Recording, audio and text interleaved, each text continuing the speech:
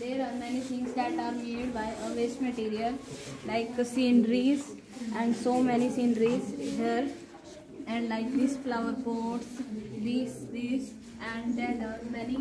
wall hangings, these and like this and this is a photo frame and this th thread painting and leaf painting.